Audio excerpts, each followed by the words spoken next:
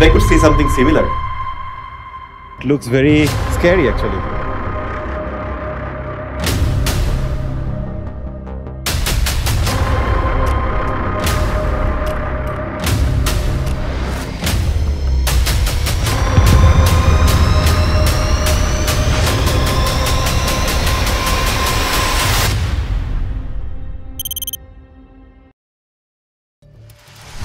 এই জাহাজটা হচ্ছে উনিশশো তেতাল্লিশ সালে ডিকমিশন করা, আমরা জানি ওয়ার্ল্ড ওয়ার টু হচ্ছে। উনিশশো পঁয়তাল্লিশ সালে শেষ হয়, তো ওয়ার্ল্ড ওয়ার টু এর মাঝামাঝি অবস্থায় কিন্তু জাহাজটা কমিশন করা হয়। কমিশন বলতে বোঝানো হয় যে একটা জাহাজ মানে লঞ্চ করা বেসিক্যালি এই জাহাজের যে নামকরণ, এটা হচ্ছে I think one of the first জাহাজ, যেটার নাম হচ্ছে, একজনের নামে না করে মাল্টিপল পার্সনের নামে করা হয়েছে এবং যাদের নামে করা হয়েছে তারা হচ্ছে সালিভান্স পাঁচজন সালিভান্স ব্রাদার ছিল। তো এই কারণে বিভিন্ন জায়গায় কিন্তু এই যে আইরিশ যে আইকনটা এটা বিভিন্ন জায়গায় আমরা দেখতে পারি এই মধ্যে। তো এখান থেকে হচ্ছে শেল ছোড়া হয়। এটা প্লেনের দিকেও ছোড়া হতে পারে বা অন্য জাহাজের দিকেও ছোড়া হতে পারে। এবং আমরা যদি এই পাশে তাকাই, তাহলে কমান্ডারের যে ব্রিজটা, ওই ব্রিজটা দেখতে পাচ্ছি, ওই যে ওখানে। ওখান থেকে হচ্ছে বেসিক্যালি জাহাজটা পরিচালনা করা হয়। তা আমরা কোনো দিকে যাব? এই যে আমরা এখন এই ল্যাডারটা নিব এবং এটা নিয়ে হচ্ছে আমরা উপর দিকে চলে যাব।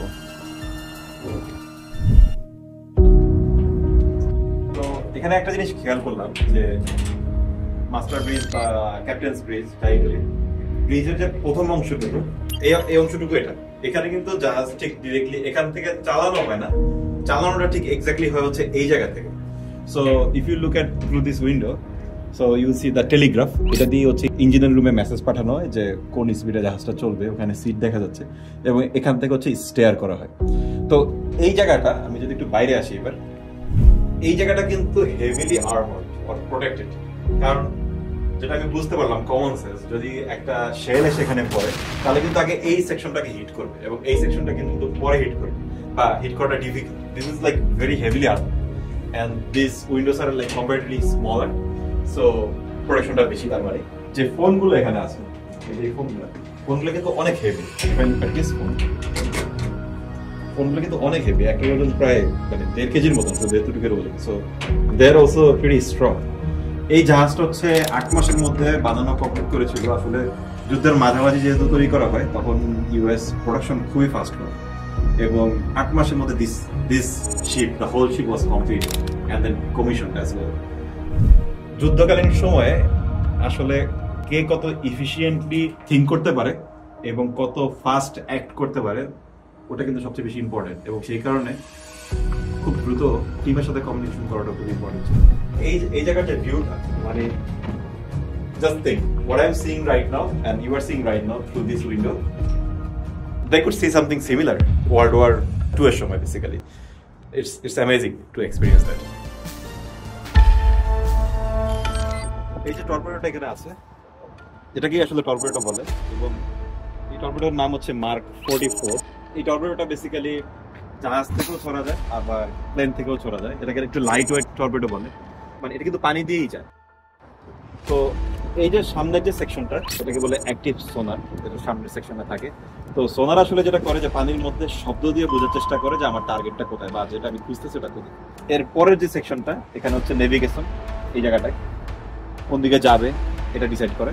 এখান থেকে এই পর্যন্ত যে সেকশনটা এটা হচ্ছে এক্সপ্লোসিভ সেকশন এখানে পঁচাত্তর পাউন্ড এক্সপ্লোসিভ আছে। তার মানে হচ্ছে অ্যাবাউট লাইক তিরিশ কেজির মতো, অথবা তিরিশ কেজি থেকে একটু বেশি হবে। এবং লাস্ট যে সেকশনটা এটাকে বলে হচ্ছে প্রপলশন তো প্রপলশনটাই হচ্ছে টর্পেডোটাকে সামনে আগানোর জন্য পাওয়ার দেয়। এই যে টর্পেডো হচ্ছে জাহাজের জন্য খুব ইম্পর্টেন্ট একটা অস্ত্র।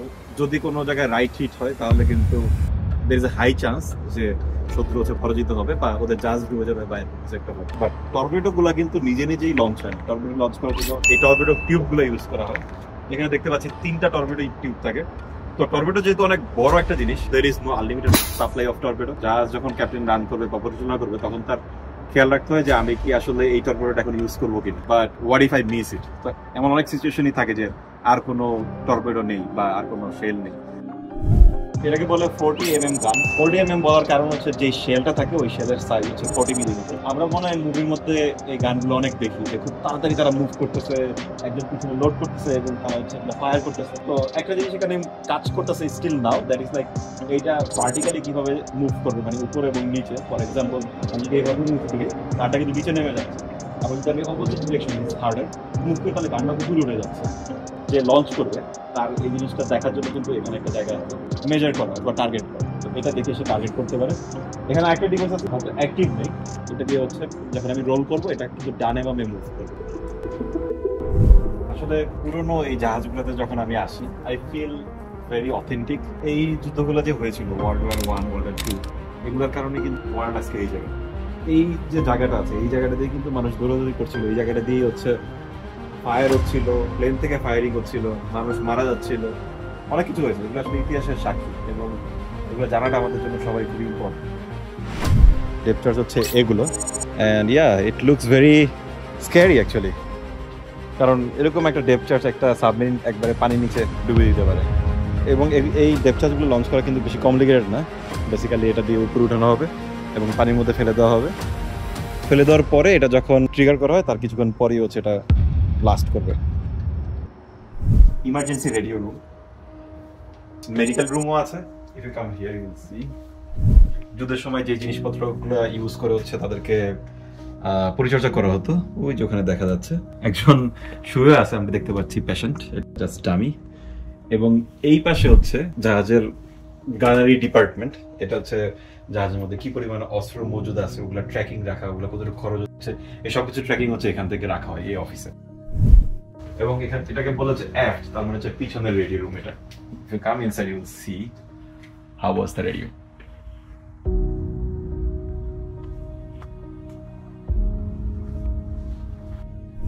আমরা এখন যেখানে আছি, এটা আসলে এই জাহাজের কিচেন বলা যায়। ইউএসএস সালিভানের কিচেন অত বড় বলব না, অনেক টাইট যেহেতু এটা পানির মধ্যে। এবং এই জাহাজের ক্রু মেম্বার অ্যাবাউট তিনশোর উপরে ছিল কিছুটা। তো তিনশো জনের মানুষের খাবার কিন্তু এখান থেকে প্রিপেয়ার করা হতো। তো এই পাশে যদি আমরা দেখি, এটা হচ্ছে ওভেন এখানে দেখা যাচ্ছে। ওপেন করা ওপেন করা যাচ্ছে রাইট এই যে ভিতরে ওভেনটা হচ্ছে এরকম, অনেক rusty right now but they took care of it একটা ইন্টারেস্টিং জিনিস হচ্ছে যে ওই সময়কার জাহাজে মেনুটা কীরকম থাকতো? এটা একটা স্যাম্পল মেনু ওই সময়কার জাহাজগুলোর মধ্যে। সো চিল্ড টিন ফ্রুট আমি দেখতে পাচ্ছি cooked cereal fresh milk and sugar so this are the items bread তো অনেক বেশি খাওয়া হতো, তাই না? সেই কারণে হচ্ছে এই যে ব্রেড প্রিপেয়ার করার যে জায়গা, এখানে কিন্তু অনেকগুলো, তিনটা section all together one two and three তো এগুলোতে করা হতো এখানে হচ্ছে মিক্সচার মিক্সচার মেশিন কিন্তু অনেক বড়, বিশাল বড়। ফর ভেজিটেবল অয়েল তারপর ইস্ট তারপর হচ্ছে এগ যেগুলো আমরা নর্মালি খাই, এইসব জিনিস এখানে আছে, মোটামুটি। আমি এখন যে এরিয়াতে ঢুকতেছি, এটা হচ্ছে জাহাজের অ্যাফট ওয়াশরুম অথবা বাথরুম এগুলো হচ্ছে সিঙ্ক দেখা যাচ্ছে। সাবমিন হলে এই জায়গাগুলো আসলে অনেক টাইট থাকে। ওই যে হট ট্যাঙ্ক ওয়াটার চিল্ড ওয়াটারের পাইপ দেখতে পাচ্ছি। এই হ্যান্ড স্যানিটাইজার ডেফিনেটলি আগে ছিল না। এটা হচ্ছে কোভিডের পরেই আসলে এখানে বসানো হয়েছে। এই যে গোসলের জায়গা। Okay so going out in this way যেই জাহাজে আমরা তখন ছিলাম সেই জাহাজটা আসলে উপর থেকে এরকমই লাগে দেখতে। আমরা এখন যেই জাহাজে আছি তার নাম হচ্ছে USS Little Rock If you want to know more about USS Little Rock, please head to another video which link I have shared in the comments.